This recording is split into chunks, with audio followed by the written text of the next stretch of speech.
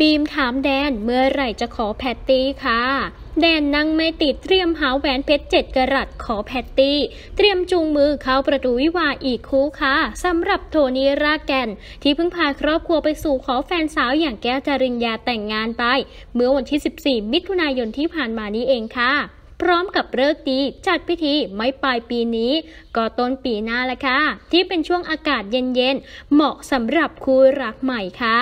และอีกหนึ่งคู่ ที่หลายคนนั้นลุ้นว่าเมื่อไรกันนะจะมีข่าวดีสักที นั่นก็คือคู่ของแดนวรเวทกับหวานใจหน้าเด็กแพตตี้อังสุมาลิน ที่คบหากันมาหลายปีแล้วละค่ะ แถมมีซีนหวานออกมาให้หนุ่มสาว ที่เขาโสดนั้นอิจฉาตาร้อนกันอยู่บ่อยๆเลย และคู่นี้ไม่ใช่แค่แฟนคลับเท่านั้นที่ลุ้นเชียร์ค่ะ แต่พี่ชายคนสนิทอย่างบีมกวี ที่นำหน้าแต่งงานมีลูกแฝดไปแล้วนั้นล่าสุดก็ได้ทวิตความชงแบบเข้มๆค่ะ กดดันน้องชายสุดที่รักว่าโทนี่ขอน้องแก้วแต่งงานแล้ว อ้าว แล้วน้องชายผมล่ะ ยังไงดี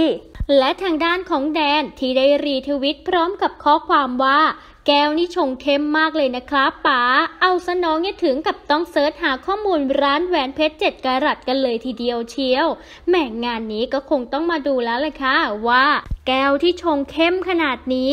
เราจะได้เห็นข่าวดีกันในตอนไหน ก็คงต้องรอกันต่อไป แต่เชื่อว่า ยุกันเบอร์ใหญ่ขนาดนี้คงอีกไม่นานแน่นอนค่ะ